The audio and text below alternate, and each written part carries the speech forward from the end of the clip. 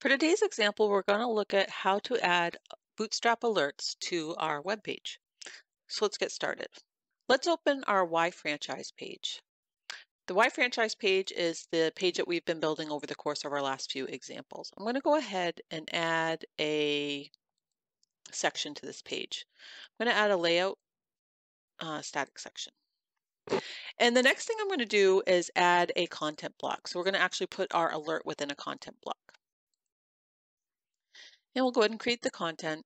And before we create the content, what I want to do is come over to the Bootstrap documentation. And here we have um, a series of all the examples of the types of alerts that they have kind of predefined through Bootstrap, which you can simply, um, you know, add the markup or the classes for these uh, in order to use them.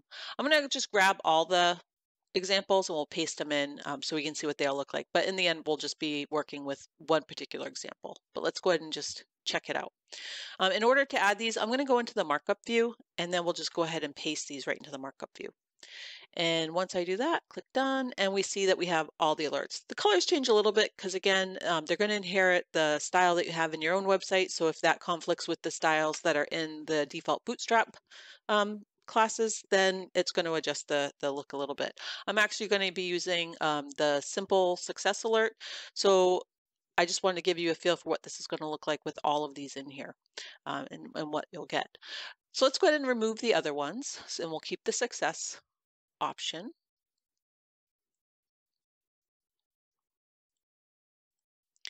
And so now we keep the success alert. Uh, we come back and here we have it. So it looks okay.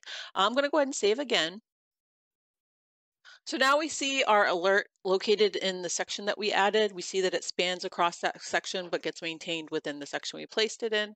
Um, maybe I don't want somebody who's maybe less technical to come in and try to edit this and modify the markup in any way. Make it a little bit harder for them to actually like adjust the markup. We want to make sure we have that, um, you know, green background maintained. So let's go ahead and take a look at the editing interface and see how we can kind of pull those classes out of the markup um, in the HTML editing interface and actually place it into the advanced properties of this particular content block. So I'm going to edit the content block and then let's go into the HTML markup.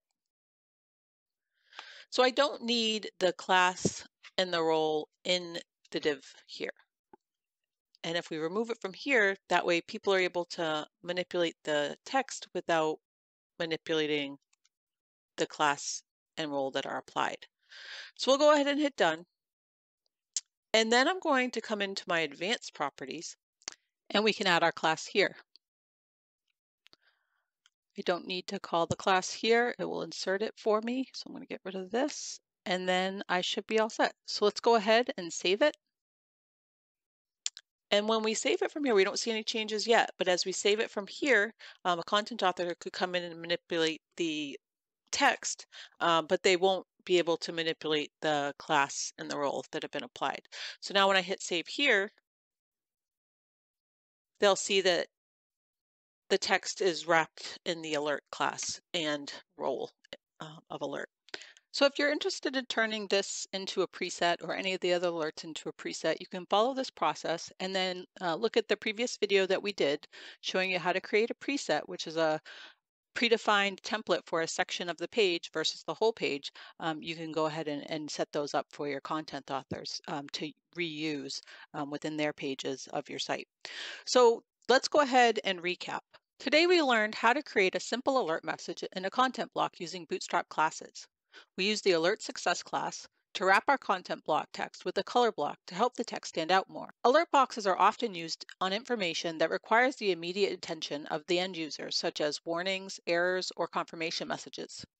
Bootstrap provides a total of eight different types of alerts, which you can experiment with. In our example, we also showed how to apply the alert class using advanced properties for the content block to help prevent less savvy content authors from accidentally removing the alert class from the markup. We also mentioned another option may be to create a reusable preset for the alert to enable less technical users to add alerts to their own pages. So that's all we have for today. We hope you enjoyed the lesson and we hope to see you next time. Thank you.